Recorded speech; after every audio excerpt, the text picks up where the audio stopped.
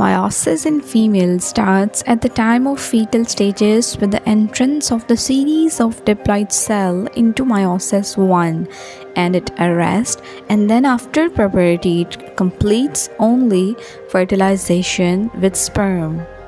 Meiosis in males occur in seminiferous tubules of testicle after adolescence.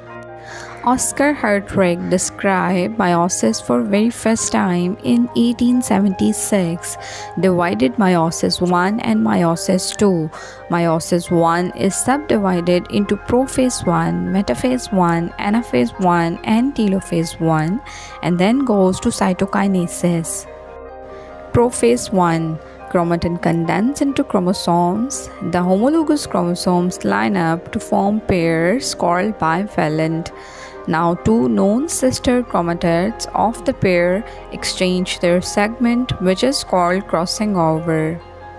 Chromosomes further condense, nucleoli disappear, nuclear envelope breaks, centriole migrates to the pole and form the spindle fibers. Metaphase 1 Pairs of homologous chromosomes align in the center of the cell. Anaphase 1 Chromosomes are pulled toward one pole. Each chromosome still has the pair of sister chromatids. Telophase 1 Chromosomes arrive at pole. Each has half number of chromosomes. Spindle fibers disappear and nuclear envelope again forms around the each set. Chromosomes uncoil again. Now in cytokinesis, the cell membrane pinches and creates the two haploid daughter cells.